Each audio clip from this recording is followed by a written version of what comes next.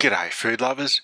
Well, today I had my colonoscopy, and fortunately it was all clear, so I'm pretty happy, and I'm celebrating with pork belly and kale sprouts.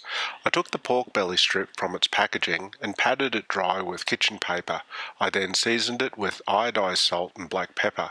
I put it on a baking sheet and into a hot oven at 200 degrees Celsius for 45 minutes. I tossed the kale sprouts and tomatoes into a mixing bowl with some rice bran oil, iodized salt, black pepper, Chinese five spice powder, cumin seeds, coriander seeds, Old Bay seasoning, and slices from the green part of a spring onion. I made sure the kale sprouts and tomatoes were well rubbed with the salty, oily goodness.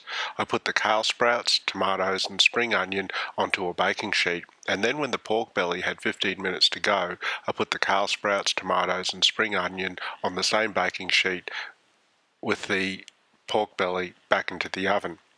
I garnished the dish with slices of the white part of the spring onion and the leaves, roots, and stems of the coriander and parsley. It wasn't too bad. Hope you have a good night. Catch you later. Bye.